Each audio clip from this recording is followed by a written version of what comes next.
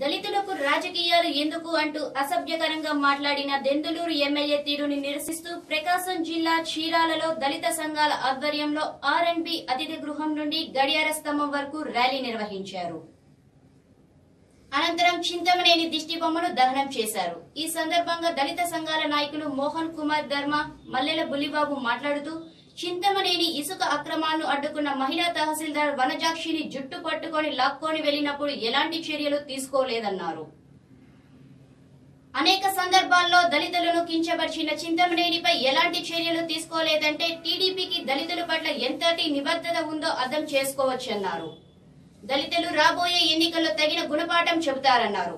కార్యక్రమంలో దళిత front convener Pulipati Baburao Bujjibabu పాల్గొన్నారు down down Chintamaneni Prabhakar దళిత ద్రోహి చింతమనేని ప్రభాకర్ దళిత ద్రోహి చింతమనేని ప్రభాకర్ దళిత గిరిజన అవమానపరిచిన Chintamaneni Prabhakar down down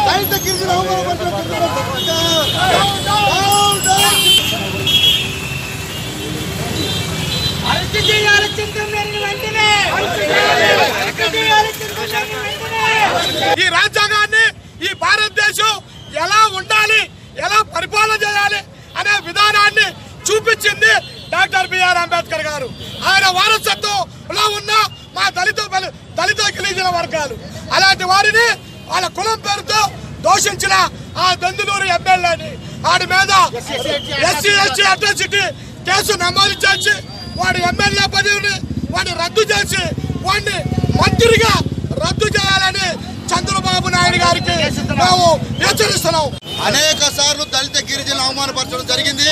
అంతేకాకుండా ఇసుక మాఫియా చేస్తుంటే ఒక ఎంఆర్ఓ అడ్డుకుంటే ఒక మహిళా ఎంఆర్ఓను కొట్టడం జరిగింది. ఆ తర్వాత ఎరుకుల ప్రజలను కూడా అవమానపరిచి మాట్లాడాడు. ఈ రోజున దళిత గిరిజన అవమానపరుస్తూ వాళ్ళకి పదవులు కావాలా? పదవులు మాయ అని చెప్పి చాలా అగౌరవపరిచాడు. కాబట్టి మరి చింతమనేని ప్రభాకర్ మరి ఆయన మీద ఎస్సీ ఎస్టీ అట్రాసిటీ కేసు నమోదు చేయాలని అదేవిధంగా రాష్ట్ర ప్రభుత్వం చంద్రబాబు నాయుడు గారు దళిత గిరిజనులకి నేను అండగా ఉంటానని చెప్పి